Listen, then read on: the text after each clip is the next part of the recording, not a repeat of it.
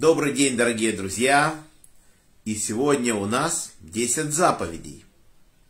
В книге Дворим Маше нам повторяет 10 заповедей. Но интересно, что Маше пытается как можно больше нам разъяснить. И, к примеру, он говорит, соблюдай день субботний.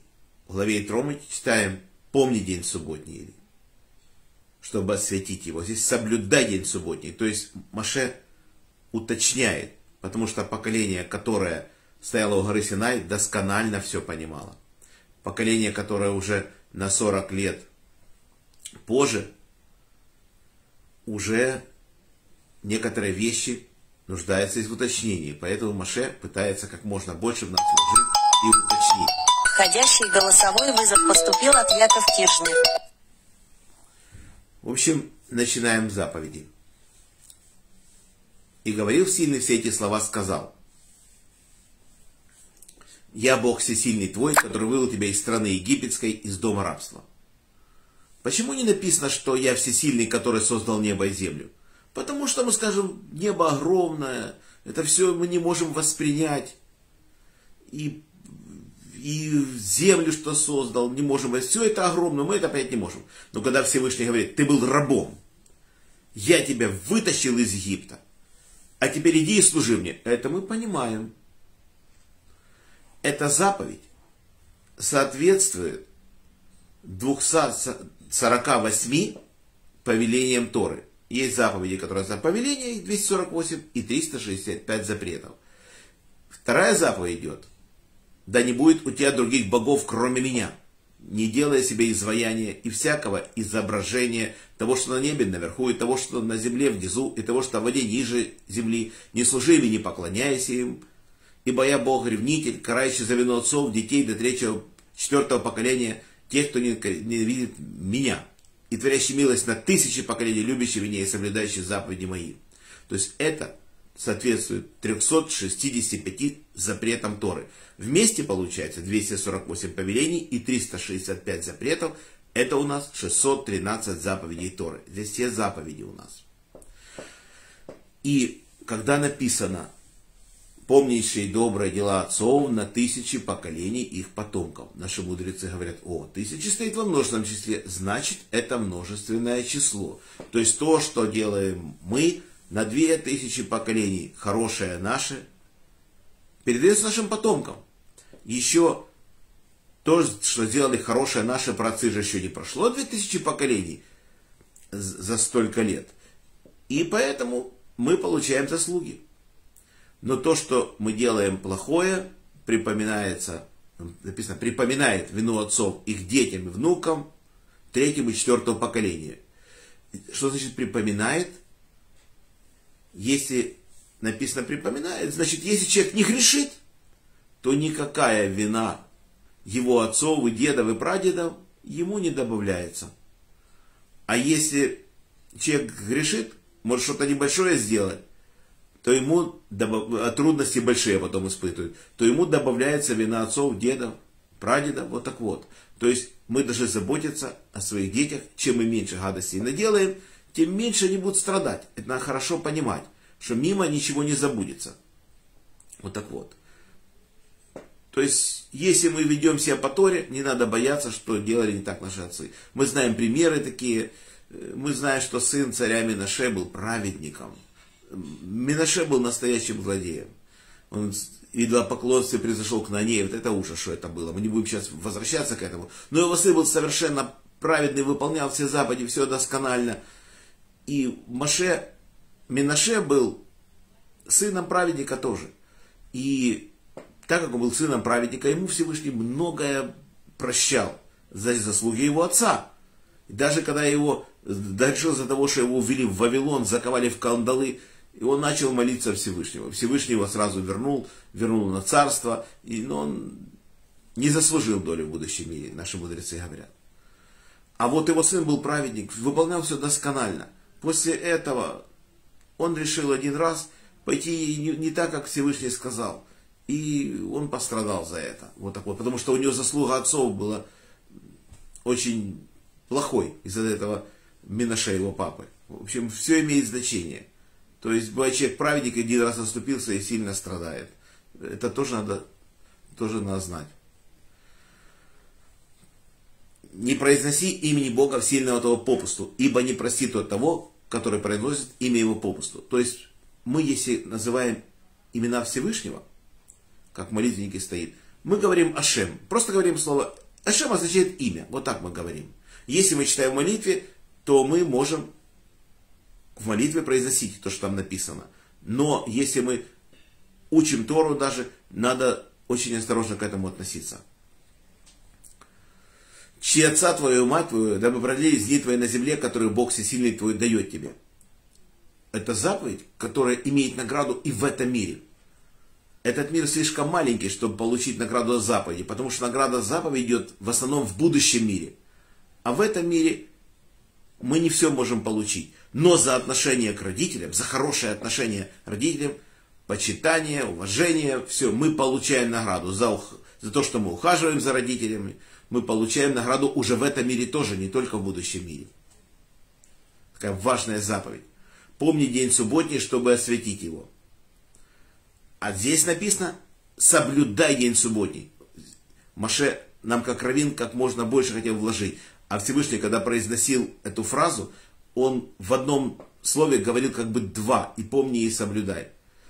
Здесь именно Маше говорит поколению новому, соблюдай день субботний чтобы осветить его. Шесть дней работай и делай всю работу твою, а день седьмой суббота, Богу сильно твоему, не совершай никакой работы.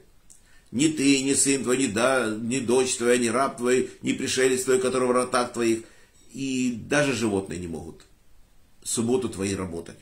Ибо шесть дней творил Бог небо и землю, и почел день субой, седьмой. Поэтому осветил Бог день субботний, осветил его.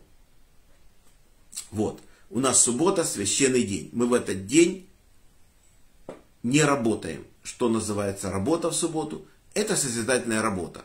Таких работ у нас 39. Называется 39 малоход. Мы не будем это сейчас перечислять, но если мы хотим, мы можем открыть книгу Шмот и почитать строительство храма, и мы увидим, какие там производятся работы. И таких работ у нас насчитывается 39, поэтому мудрецы нам говорят, что у нас 39 малоход и мы их не можем делать. В основном это созидательные виды работы. Нельзя шить, нельзя стирать, в общем, нельзя красить и так далее, просеивать. В общем, созидательные виды работ.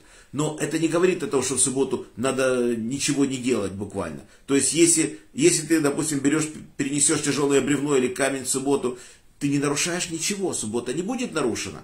А вот если справишь какую-то ножку от табуретки, это будет нарушена суббота. То есть надо эти законы хорошо изучить, тогда будет легко их соблюдать. И для того, чтобы правильно соблюдать субботу, надо понимать некоторые правила, что можно переносить в субботу, что можно, что, что можно сделать для того, чтобы была хорошая еда на столе, как ее подогреть в субботу. В общем, есть разные, разные у нас вопросы к этому для, эти, для, по этому поводу мы обращаемся к нашим раввинам и спрашиваем, как поступать в том или в другом случае. Вот так вот. Потом это у нас пять заповедей, которые отношение человека со Всевышним. Это не считается. А вот уже дальше отношение человека к человеку. Не убивай, и не прелюбодействуй, и не кради, и не отзывайся о ближнем ложным свидетельством. А почему это и стоит? Мы же читаем в главе Итро, что нет там никакой «и». Просто не, убивай, не прелюбодействуй, не кради. Причем здесь «и» буква. Дело в том, что наши мудрецы говорят, что если человек убивает, то он будет и прелюбодействовать. А если он уже прелюбодействует, будет воровать. И так дальше. Потому что заповедь влечет за собой новую заповедь, а грех влечет за собой грех. То есть, если ты грешишь одно, и так подтянется, и человек полностью опустится до самых, до самых низов. Это мы тоже должны очень хорошо понимать. То есть надо стараться одну заповедь не нарушить, потому что она потянет с собой и другие. Это все посыпется. Но мы должны выстаивать. Это очень тяжело, но надо стараться выстоять. Если мы стараемся, мы добьемся хорошего результата. Так как нам Всевышний говорит.